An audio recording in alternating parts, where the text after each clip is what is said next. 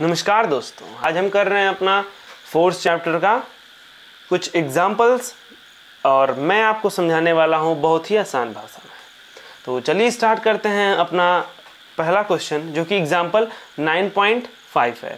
तो हमारा first question है the velocity time graph of a ball of mass 20 gram moving along a straight line on a long table is given in figure.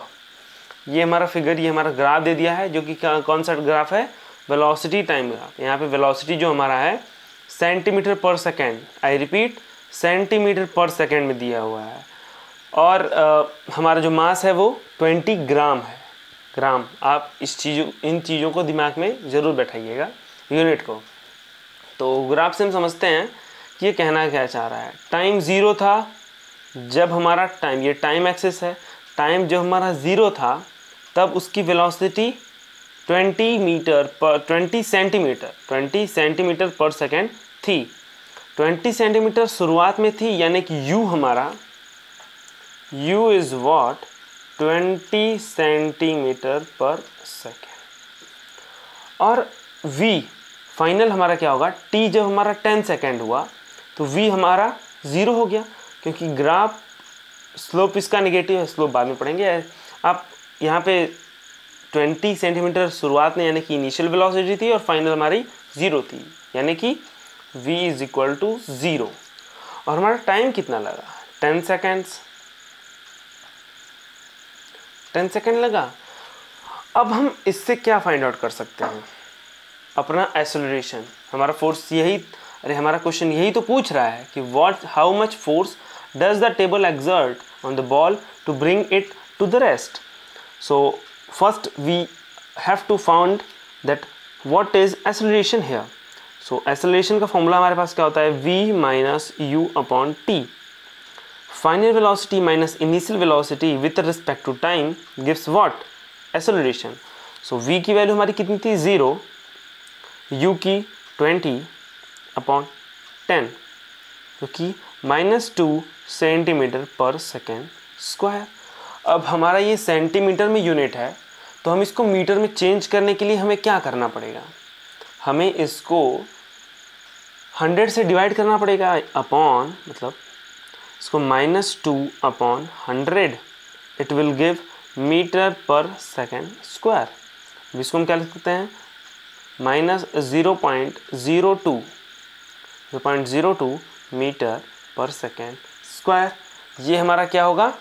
Acceleration हमारा acceleration मिल चुका है and we have our mass which is in gram so we have to convert it into kilogram so twenty one kilogram is equal to one thousand gram एक kilo में एक हज़ार ग्राम तो एक ग्राम में कितना kilo? One upon one thousand. यही twenty gram में. तो ट्वेंटी से मल्टीप्लाई कर देंगे ट्वेंटी अपॉन थाउज़ेंड। ये कितना आएगा? ज़ीरो से ज़ीरो मर गया और टू से हंड्रेड को डिवाइड करेंगे तो कितना आएगा? One upon fifty. K G this is what our mass अब हम अपना सिंपल सा फॉर्मूला लगाएँगे F is equal to M into A अब यहाँ पे माइनस साइन आप देख के घबराइएगा मत। ये माइनस साइन हमें ये बता बता रहा है कि इसकी वेलोसिटी कम हो रही है यानी कि अब ये रुकने वाला है। ओके तो m इंटू ए एम हमारा कितना है? One upon fifty into minus zero point zero two metre per second ये हमारी पूरी की पूरी यूनिट क्या आएगी? Kilogram metre per second square माफ़ कीजिएगा यहाँ पे स्क्वायर लगेगा। ओके सो so, हम इसको मल्टीप्लाई कर देते हैं minus zero point zero two upon fifty इसको सॉल्व करने पे टू अपॉन फिफ्टी इंटू ये डबल ज़ीरो जो हमारा ये सिंपल मैथ्स अपना अप्लाई करेंगे तो टू अपॉन हंड्रेड करें तो वैल्यू तो टू की उतनी ही आने वाली है। तो इससे one upon twenty five okay so one को अगर ट्वेंटी फाइव से डिवाइड करें तो हमारे पास कितना आता है? Zero point zero four. And upon hundred means ten के power minus two newton. This is the force. हमारे पास इतना फोर्स अप्लाई लगेगा और इसके आगे निगेटिव। आप निगेटिव साइन इसलिए लगा रहे हैं क्योंकि यहाँ पे हमारा जो फोर्स है, वो यहाँ पे इसको, इसकी वेलोसिटी बढ़ाने के लिए नहीं, इसकी वेलोसिटी घटाने के लिए यूज़ किया जा रहा है। And that's why we will apply negative sign और हमारा फोर्स कितना रहेगा? Zero point zero four into ten to power minus two newton तो हम अपने अगले क्वेश्चन की तरफ़ बढ़ते हैं। पिछले क्वेश्चन में जिस तरह हमारा जो टेबल था, उस पर हमारा बॉल जो चल रहा था, वो टेबल भी उस पर एक फोर्स लगा रहा था। हम जिसको बोलते हैं फ्रिक्शनल फोर्स फ्रिक्शनल फोर्स क्या होती है? वो आपके मोशन को अपोज करती है। तो ये आपका क्या हो गया? फ्रिक्शनल फोर्स की वजह से उसकी वेलोसिटी ज़ीरो हो गई। और ये फोर्स क्या कर रहा था? उसकी वेलोसिटी को धीरे कर रहा था and that's why a negative sign was there और यहाँ पे अपना एग्ज़ाम्पल नंबर 9.6 को हम देखेंगे, जो कि a bullet of mass 20 gram is horizontally fired with a velocity 150 meter per second from a pistol of mass 2 G what is the recoil velocity of the pistol तो ये क्वेश्चन बहुत ही easy है। जैसे कि हम बुलेट को fire करते हैं तो हमारा हाथ पीछे आता है। एक हम बोल सकते हैं कि झटका लगता है। हम आगे, हमारी जो गोली है, जो हमारा बुलेट है, वो आगे की तरफ़ जाता है और हमारा जो गन है, वो पीछे की तरफ़ आता है। यही गन की जो ये पीछे आने की जो वेलोसिटी होगी, यही पूछ रहा है कि recoil velocity of the pistol क्या होगी। तो इसको हम सिंपली सॉल्व करेंगे किस मेथड से? Conservation of momentum we will solve this question using conservation conservation of momentum अब कंजर्वेशन ऑफ़ मोमेंटम हमारा क्या कहता है? कि total momentum total momentum is constant यानी कि फाइनल मोमेंटम और इनिशियल मोमेंटम हमारा बराबर रहेगा। अब हम यहाँ पे देखते हैं हमारी फाइनल और इनिशियल वेलोसिटी कितनी थी। तो ये हमारा वही बचपन वाला पिस्टल ये पिस्टल बहुत गंदा है। तो ये हमारा पिस्टल और ये इसके अंदर ये हमारी छोटी सी बुलेट ओके तो अभी ये वेलोसिटी फायर करने के बाद इसकी इतनी वेलोसिटी हुई है। ओके यहाँ पे हमारी इनिशियल बुलेट की और इस गन की जो हमारी इनिशियल स्पीड थी, वो कितनी थी? बुलेट अभी भी इस गन में है। सो बुलेट की स्पीड, यानी कि u1 जिसको हम मानते हैं u1 क्या है? बुलेट की स्पीड है। ये इसको हम, ये हमारी कितनी हुई? ज़ीरो हुई। और गन की भी हमारी जो हुआ, गन का स्पीड कितना हुआ? वो भी ज़ीरो है। तो हमारा पिस्टल दो के का है, यानी कि एम टू हमारा टू के का है। और M one M one upon M one हमारा यहाँ पे क्या है? Mass of the bullet mass of bullet हमारा ट्वेंटी ग्राम है, जिसको हम के में कन्वर्ट करेंगे तो कितना आएगा? ट्वेंटी अपॉन थाउज़ेंड, जो कि कितना आएगा? ज़ीरो से ज़ीरो मर गया और zero point zero two K जी अब हम फाइंड करते हैं कि हमारा इनिशियल मोमेंटम कितना रहेगा इस पूरे सिस्टम का। ये हमारा पूरा सिस्टम हुआ। मैंने अपने प्रीवियस वीडियो में, कंजर्वेशन ऑफ़ मोमेंटम वाले वीडियो में I have discussed in a deep about this conservation of momentum so so, ये हमारा एक सिस्टम हुआ। अब इस सिस्टम का इनिशियल मोमेंटम इनिशियल मोमेंटम कितना हुआ? M one U one plus M two U two जो कि कितना हुआ?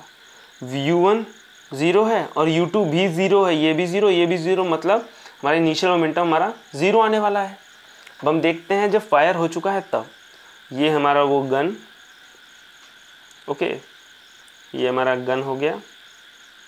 ओके और हमारा बुलेट ये रहा। अब बुलेट हमारी कितनी स्पीड से चल रहा है? 150 मीटर पर सेकेंड। अब हमारा पूछ रहा है कि इसकी ये इसकी पीछे जाने की वेलोसिटी कितनी रहेगी? सो फाइनल मोमेंटम अभी इसका इनिशियल यानी कि v1 कितना हुआ? V1 हमारा आ, आ चुका है 150 मीटर पर सेकेंड। और m1 हमारा उतना ही था पुराना वाला 0.02 kg m1 क्या था? मास ऑफ़ द बुलेट v2 जो कि रिक्वायल ऑफ़ द गन है, ये हमें फाइंड आउट करनी है। और m2 m2 हमारा दिया हुआ है टू के जी ओके हमारा final momentum of this system अब हमारा एक सिस्टम हो गया, इससे ये हमारा सिस्टम हो गया तो फाइनल मोमेंटम हमारा कितना हो गया? M one V one M one V one is plus M two V two is equal to M one zero point zero two K G zero point zero two into one fifty plus two into V को हम कुछ मान लेते हैं let it be X हम X मान लेते हैं ओके तो टू इंटू एक्स हो जाएगा।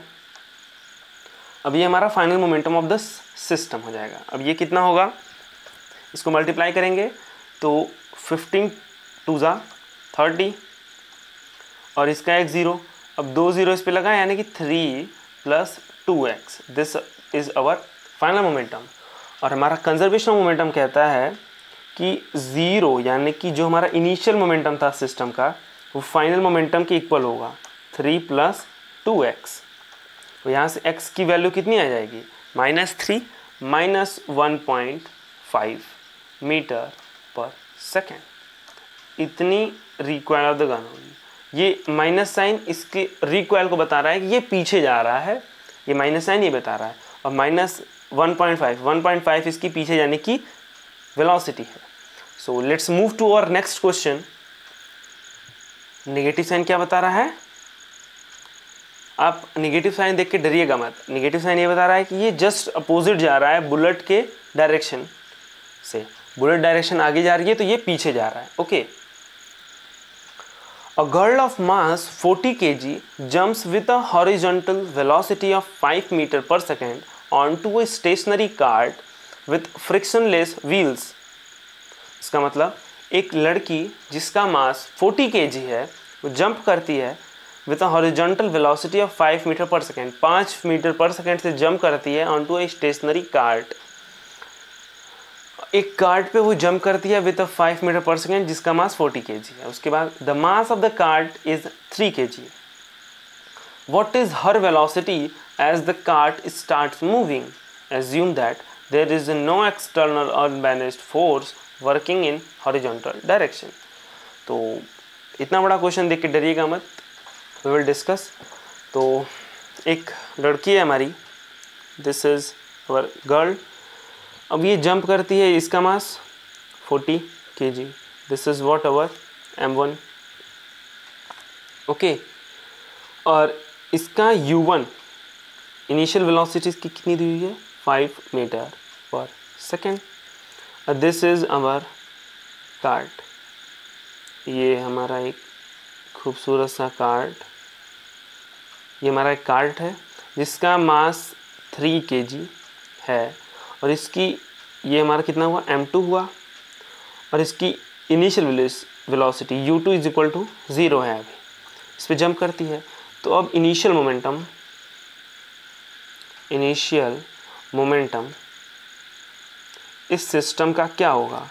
M one U one M one U one plus M two U two M one की वैल्यू रखते हैं forty into five two hundred plus three into zero zero two hundred kilogram meter per second. ये हमारा initial momentum आ गया। Final momentum हमारा क्या कह रहा है?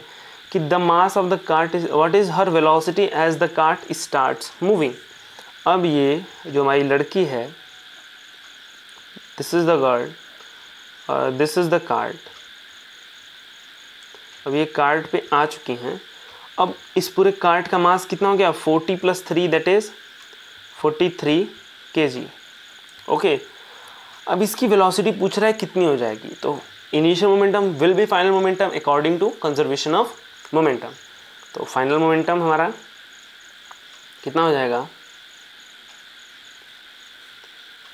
43 इंटू एक्स अब एक्स हमें फाइंड आउट करना है। एक्स इसकी मान लेते हैं स्पीड होगी।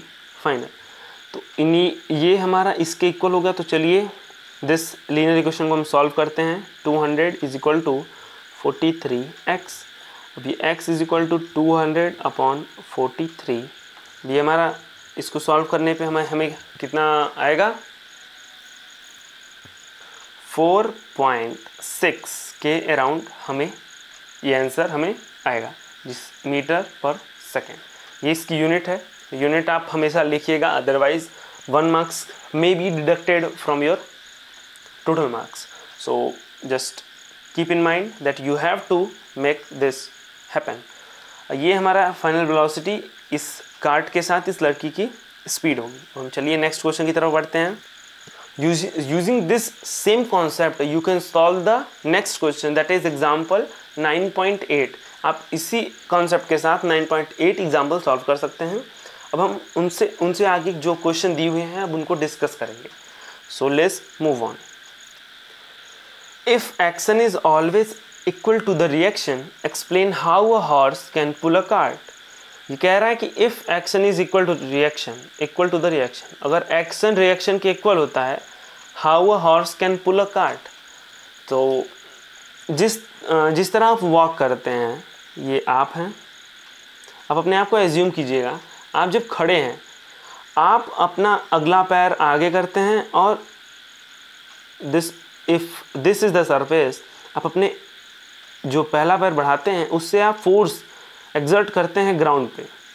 ये फोर्स ग्राउंड भी आप पे एग्जर्ट करता है, जो आपको आगे बढ़ने देता है। सिमिलरली ये जो हॉर्स के साथ भी ऐसा ही केस है। आप फोर्स करते हैं, आप फोर्स लगाते हैं ग्राउंड पे और आप आगे बढ़ते हैं। Okay our next question is हमारा अगला क्वेश्चन है कि जो फायरमैन होता है, वो आपने कहीं ना कहीं तो देखा होगा कि अगर कहीं किसी बिल्डिंग में आग लगती है, अगर इस बिल्डिंग में आग लग गई तो एक कार आएगी, जिसमें एक आदमी पानी इस पर छिड़कने के लिए पाइप लिया रहता है। अब क्वेश्चन बोल रहा है कि वाई ही होल्ड अ होज बहुत ही डिफ़िकल्टी मतलब बहुत ही परेशानी से उसको पकड़ा रहता है, बहुत ही कस कर एकदम अपना एकदम पूरी जान लगा के पकड़ा रहता है। ऐसा क्यों? क्योंकि जिस बहुत ही तेज़ पानी निकलता है उस पाइप से if this is the pipe so इस पाइप से बहुत ही लार्ज अमाउंट में, बहुत ही लार्ज फोर्स के साथ, बहुत ही लार्ज वेलोसिटी के साथ पानी हमारा आगे तरफ़, आगे की तरफ़ आता है।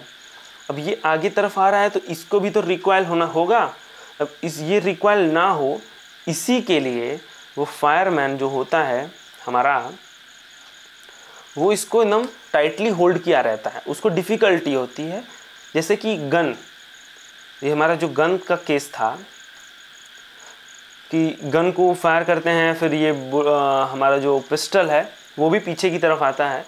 सेम इन दिस केस यहाँ भी पानी की वेलोसिटी बहुत ज़्यादा तेज़ होने के कारण ये जो हमारा फायरमैन है इसको बहुत ही टाइटली होल्ड किया रहता है। उसको डिफ़िकल्टी होती है इसको होल्ड करने में। तो अब हम नेक्स्ट वीडियो में फिर मुलाकात होगी, जिसमें हम एक्सरसाइज को सॉल्व करेंगे। तब तक के लिए थैंक यू